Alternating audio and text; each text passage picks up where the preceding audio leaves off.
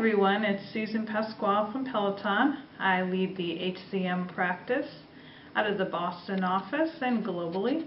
And today I'd like to tell you about some new features of 19b. Oracle has definitely been busy um, developing quite a new set of features and some of those I'm just going to tell you about today. We can certainly help you activate them if you'd like.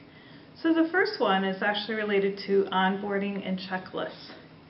So the nice thing is you'll be able to import and export checklists.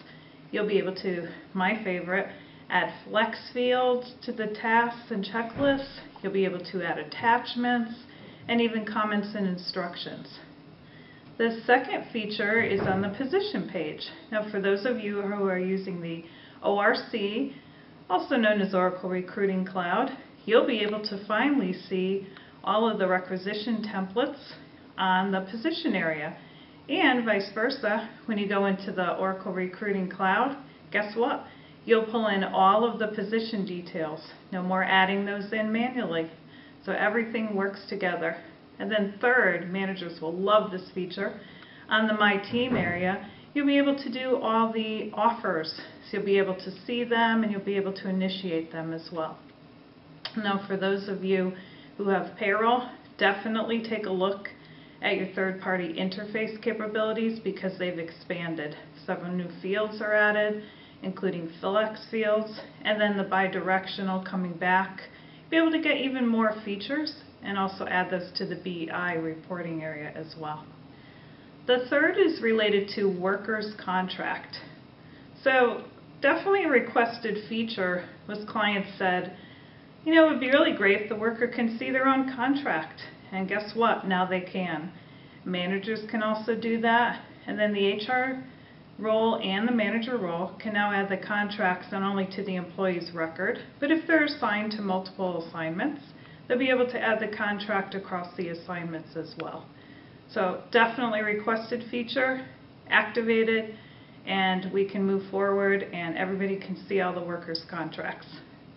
The last feature is related to the HR workflows heavily requested, heavily used for onboarding and checklists.